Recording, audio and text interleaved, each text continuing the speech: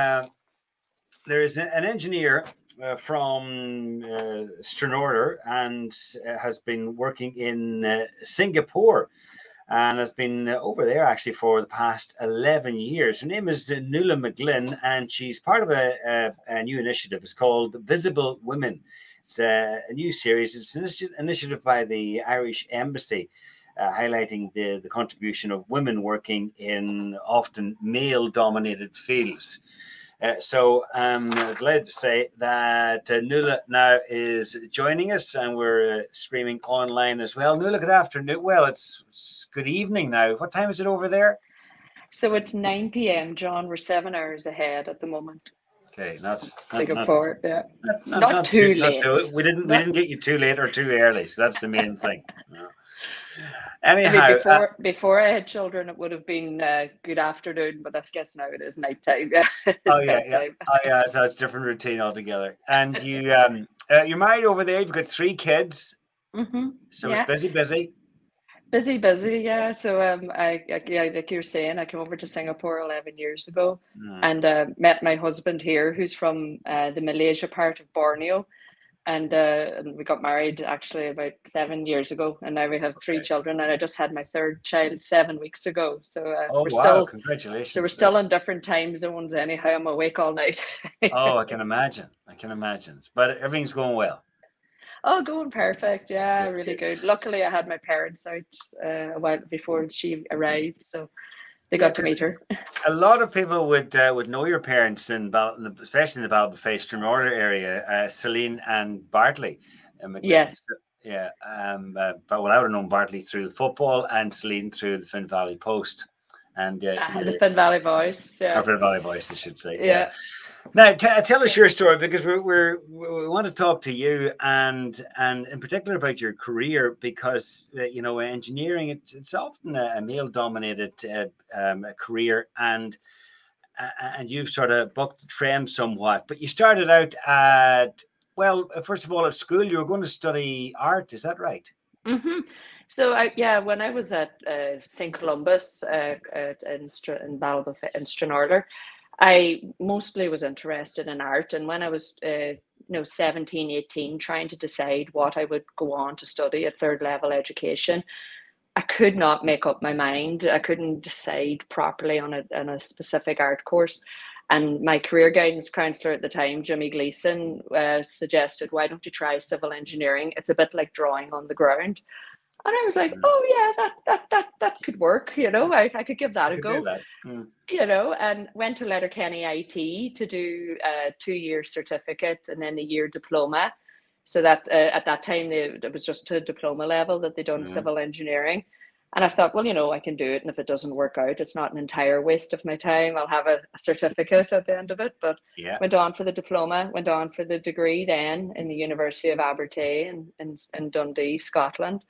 Brilliant. and then carried on working from then. I've loved loved and it is drawing on the ground, civil engineering, and you know my first job I was an engineer with a theodolite out on a building site, making the points on the ground so that the the machinery, the excavators, and the workers could put this all in the right place, and yeah. you know, and that's and that is exactly what it has been like. But then, so, the, sorry, go ahead.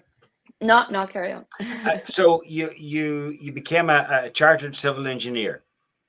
So yeah, so I got my degree in uh, University of Abertay, and then I got my chartership through the Institute of Civil Engineers uh, in London, uh, the UK.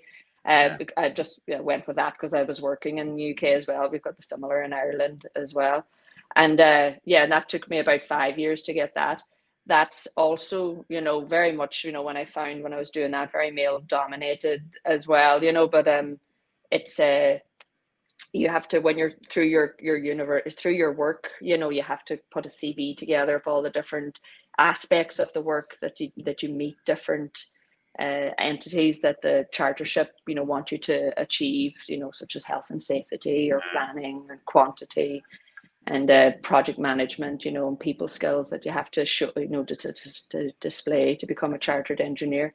It's an important thing as well to do, specifically in engineering. Uh, for me, it was I felt it was important because I, I felt it could really show that that I knew what I would know. It would show my future employers. It would. It's a.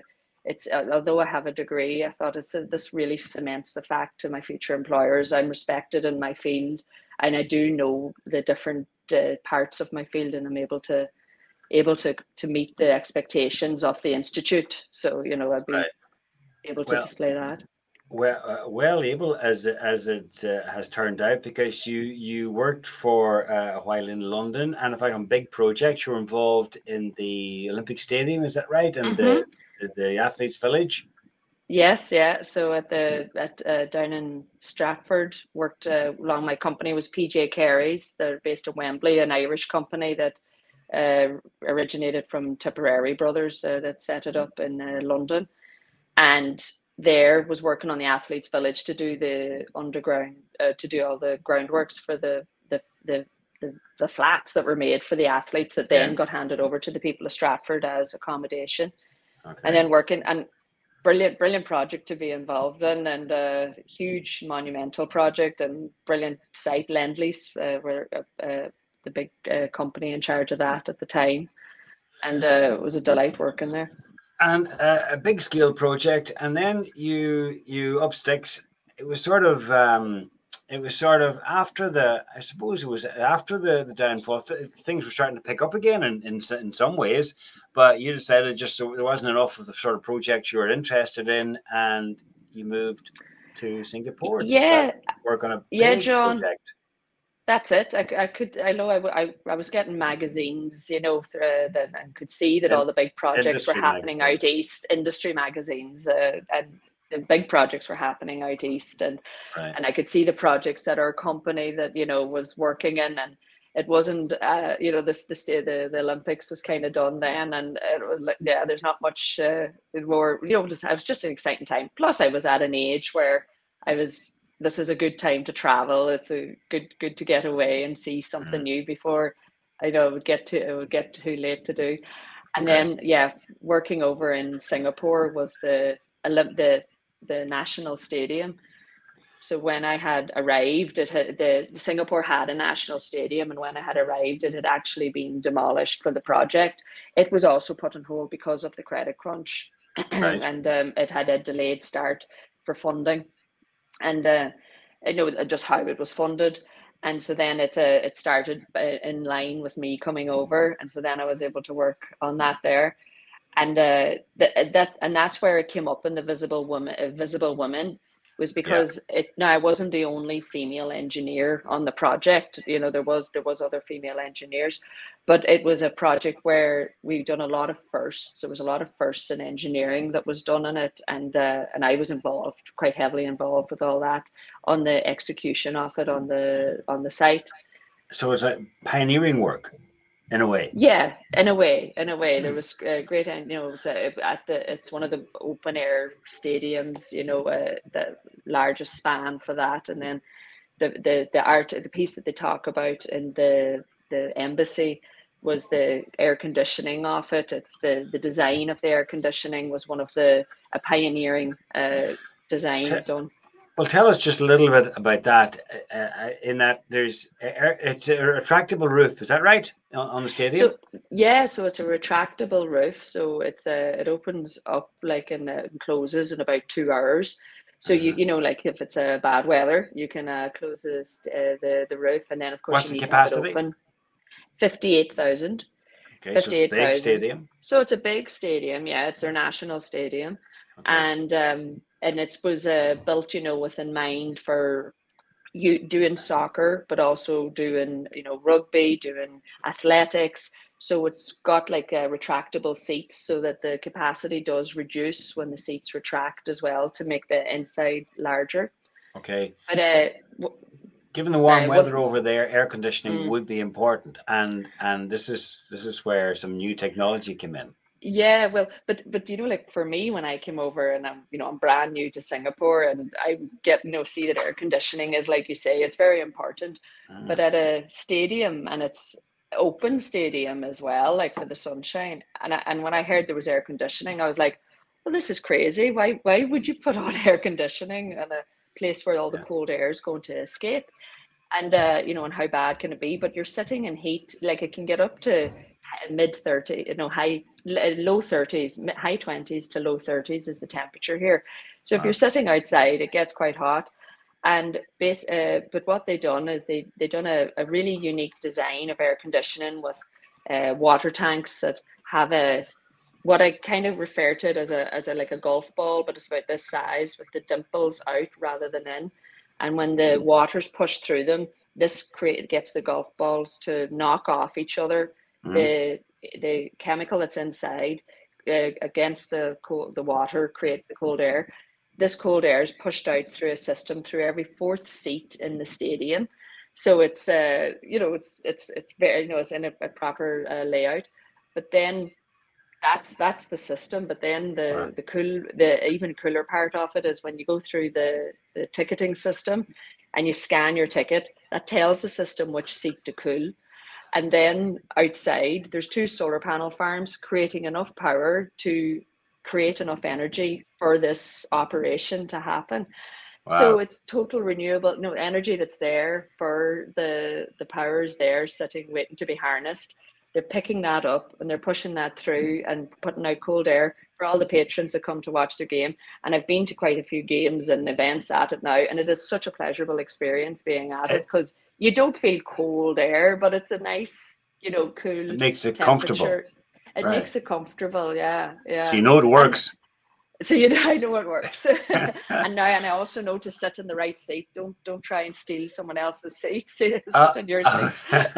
but the system knows whether that seat is occupied, so so don't be trying to go, go down a few rows into an empty seat because yeah, you might you might be as cool down there. but but it's amazing. So if the if the capacity is reduced, it, it'll only be cooling the seats that are occupied. Is that right? Yeah, yeah. Wow. So it's only and so the and then the extra power that's being made from the solar panel farm is being pushed into other systems that need electricity. But the the the actual kilowatt peak that's uh, created is being used for this function.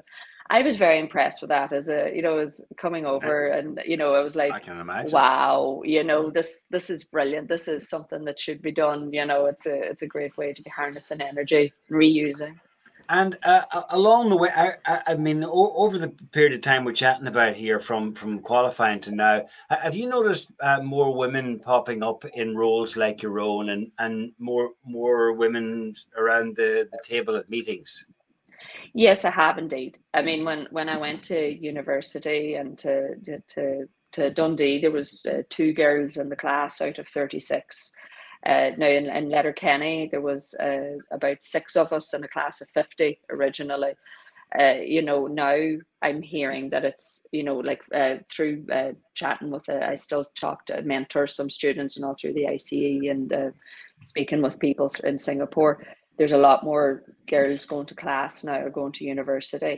Right. And then when I'm now working, I've got other project managers coming in to work with me on my building sites uh, women, yeah, like you say, women are also, you know, uh, looking after, you know, the high end part of the projects as well. There's more women are CEOs of companies now. They're more financial women in, in charge. You know, there's you can see the difference now. Even in my own company that I'm working with now, there's a lot more women taking up, you know, the the directors roles. Whereas when I would have started, you would have seen only male. Uh, dom- yeah. It was male dominated, like in the in the roles. Okay. So uh, there's I, I see the I see the change I see the change in Singapore, but I see the change worldwide, you know, as well. I see it in Ireland as well. There seems to be a lot more interest. I think there's a lot more known about it as well. Like when I chose civil engineering, I, I was given the advice by my career guidance counselor, but and and I looked into it, but maybe I, it wasn't as made aware to me that I could do it. But now I can see that there's more information out there for young girls uh, when they're choosing what they want to do they can see that this is something that's available to them so more more young women are realizing that there's there's more to it than just drawing on the ground there's more to it than drawing on the ground. Yeah, there's some cool, there's some cool tricks in it too. Yeah, I'll bet. I'll bet. and what's what's life like in general in Singapore? Well, you're off work at the moment. You'll be how long? How long is maternity leave? Yeah, so maternity leave is four months, uh, okay. but shorter now than Ireland. And mm. uh, oh, you could take uh, you can take more time off with your you know with your you, you did decide with your company, but the official is four months, which is what I'll be taking uh, it's it's an enjoyable place like over here. I you know i enjoy it. There's a good irish community. The irish embassy have done a, a really good job as well of bringing that community together and making sure that we support the other irish uh, yeah. group you know irish people and irish groups that are here. There's you know there's a lot happening just after covid you know. There's a few mm. more events have been happening again now with people being able to meet up again. There's st patrick's uh, association just recently had a, a, big Irish ball, like that was meant to be held for St Patrick's Day, you know, that had got delayed. Yeah. So, uh, so there's a so there's a good a good that, but I but I but I also there's a there's a good community in Singapore. It's a it's a very multicultural city. Uh, there's a lot of different nationalities living here, but there it's quite a lot of uh, a lot of religions are respected here. There's uh, for for example, uh, each each religion uh, has two public holidays per year. So uh, as Christians, we celebrate Good Friday and Christmas. You know, but I don't get the other public holidays off. Like I don't get Easter Monday off, or oh. you know, yeah. so your ones are nominated. Yeah, they they are right. nominated, but then I'll I'll celebrate Vesak Day or Hari Raya, and you know, it's all these different. Uh, yeah, so it's yeah. it's really exciting that part of being here to get to learn a bit more about the different cultures. Well, listen, uh, uh, congratulations again on your arrival and continued success to you. And and uh, uh and it's uh, and it's it's it's a great story, and uh, you know all the way over there in Singapore, and and then leading the way, and in particular leading the way for women who are considering maybe um, engineering as a as a career. And thanks, Thank and you and you haven't lost your accent. You might be over there eleven years, lost none of your accent. All right. No, thanks, no, Nuala. you can't get Stranorlar. Cheers. Thank yeah. you. Cheers, good John. Luck. Thank you very bye, much. Bye. Have a good day. Bye bye. Operating out of one new state-of-the-art showroom in Donegal Town, and we invite you to